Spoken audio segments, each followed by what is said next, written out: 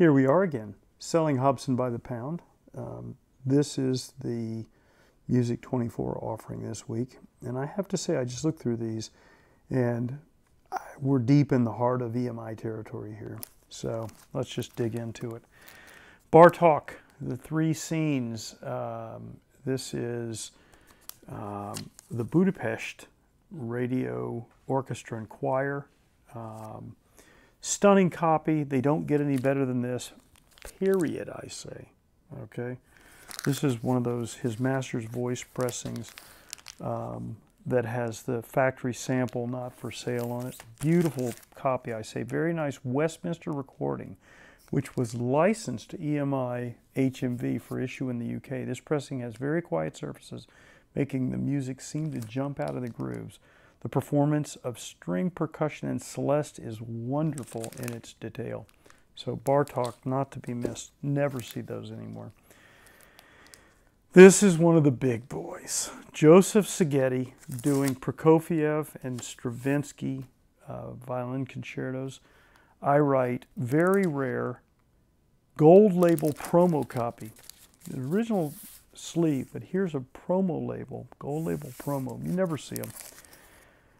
Uh, sound is superb and performance without compare. Szigeti at his best and perfectly captured by Wilma Cozart Fine, R.C. Fine, and Bob Eberenz, the Mercury recording uh, team.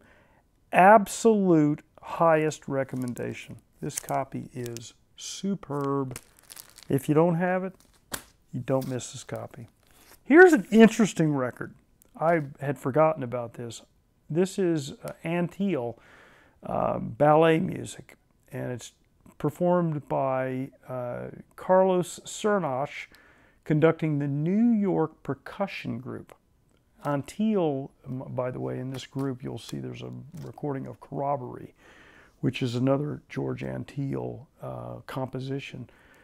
Sleeper recordings, shocking dynamics on this Antheil piece and the Bryant the Brant recording. There's also a Brant piece on this as well. Henry Brant, Signs and Alarms. These recordings definitely qualify as audiophile quality. You'll be surprised as I would. Top recommendation. Near perfect pressing with virtually no surface noise. It gets a wow. So there you go. Sleeper you wouldn't know, but I'm here to tell you. Overtures of Vienna, Vienna Philharmonic, and Boskovsky. Lots of Boskovsky recordings uh, for Decca. Uh, this is a probably a second or third pressing, uh, but in very, very nice condition. Um, yeah, this, this copy looks fantastic. Wagner, Vienna Phil uh, with Horst Stein uh, conducting, uh, different pieces from Wagner. Again, a beautiful FFSS copy of this. Looks in just stunning condition. Probably a second or third pressing. Delius EMI Concerto for Cello and Orchestra. Jacqueline du Pré on cello. And she is incredibly collectible, I'm sure you are aware. Huge chorus recording is startlingly huge. This early dog label pressing is pristine with nearly silent surfaces, incredible sound. du Pré playing cello on side two is beautifully recorded with lush sound and overtures, overtones, sorry. Near perfect in all ways, top, top recommendation. This is that big dog label, remember, kind of a second pressing, but stunning. Hommage du Pavlova, 1881 to 1931. Superb mono recording of Kurtz conducting the Philharmonia Orchestra in Ballet Favorites. Nice dog and horn label, early copy with big dynamics. So this is a mono recording, but absolutely stunning.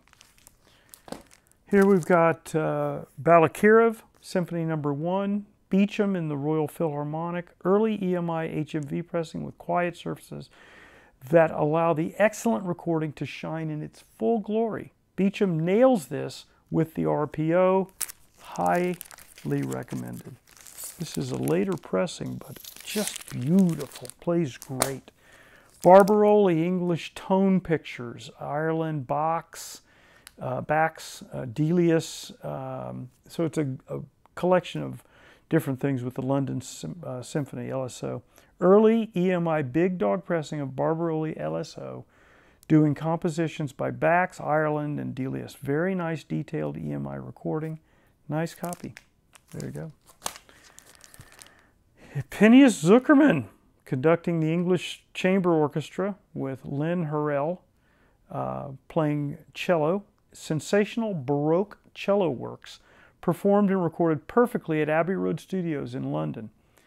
Very rich tone and very detailed recording has many audiophile qualities. Top, top recommendation. Great copy, quiet surfaces. Bach cantatas, Dietrich Fischer Dieskau absolute first white and gold pressing, right? We've seen those before. Um, that plays near mint with very quiet surfaces. The vocalist seems to be in the room on this near perfect recording. I can't imagine a better copy of this rarity exists. Wow on every level. I don't think I've actually done that uh, before this. Performance, recording, and pressing, bravo, not to be missed. Bach cantatas. Beethoven, Creatures of Prometheus, ballet music. Rare co early copy of this fabulous recording and performance. Nice dynamics and quiet surfaces make this a copy hard to beat. Top recommendation, Yehudi Menuhin conducting the Menuhin Festival Orchestra. Beautiful cover too, by the way. Um, this is just such a nice ASD 2515. Here's our boy, Thomas Beecham, my favorite overtures. He loves doing overtures. Near perfect original first issue, white and gold. Wow. Plays near mint minus with very little surface noise. The recording is stunning in its dynamics and its low level detail. Almost impossible to find a better copy than this one. It doesn't get any better than this on LP. Another wow copy. Jeez. Absolute highest recommendation. Here we are in a little Malcolm Arnold run, I think, or maybe part of it. Um, Malcolm Arnold's Arnold Symphony Number no. Two in English Dances. This is an EMI audiophile recording from start to finish, very detailed, very dynamics, and low-level detail, nice solid bass, nice copy with very little surface noise. The eight English dances are not to be missed. Top recommendation. Groves conducting the Bournemouth Symphony. Malcolm Arnold is the composer. Here we go, Marriner, St. Martin in the Fields, Academy of St. Martin in the Fields. Uh, and this is some different pieces, some very big pieces.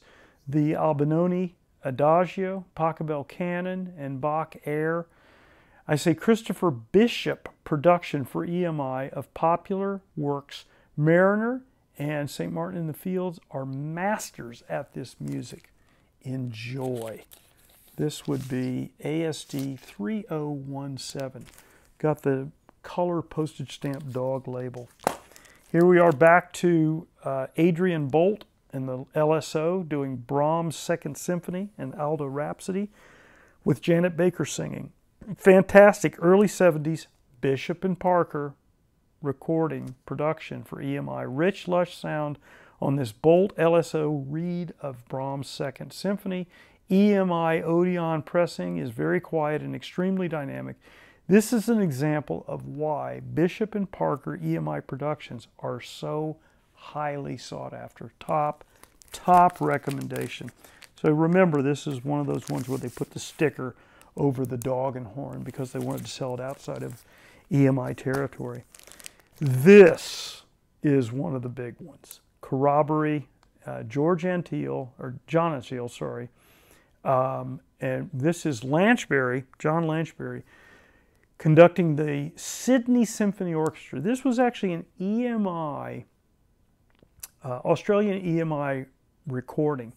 HP TAS Super Disc List title, exceptional recording with tremendous low level detail and very exciting and dynamic music inspired by Australian Aboriginal people who influenced Antill as a young boy. Top, top recommendation. Very dynamic and hard to find. You Are Their Sound. Nice copy, I write. So yeah, this is actually, believe it or not, a record that I wanted to reissue. But the tapes are in Australia, so it makes it a little more difficult. You never see this record. Very, very good. Another Malcolm Arnold uh, composition, Concerto for Flute and Strings. Um, this is a beautiful recording of Arnold Concerto for Flute and Strings. Flute is mic'd perfectly, as are the strings, in characteristic EMI fashion. Quiet surfaces, top, top recommendation. I say has an exotic flavor from the flute. Fun. Huh, that's interesting. Anyway, there you go. Couple left. Uh, again, Malcolm Arnold, concertos for Phyllis and Cyril.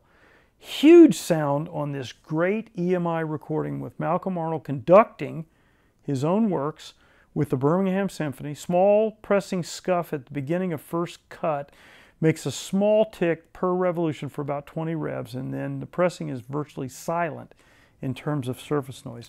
The small defect does not distract from the enjoyment of the music. Rare copy, top, top recommendation.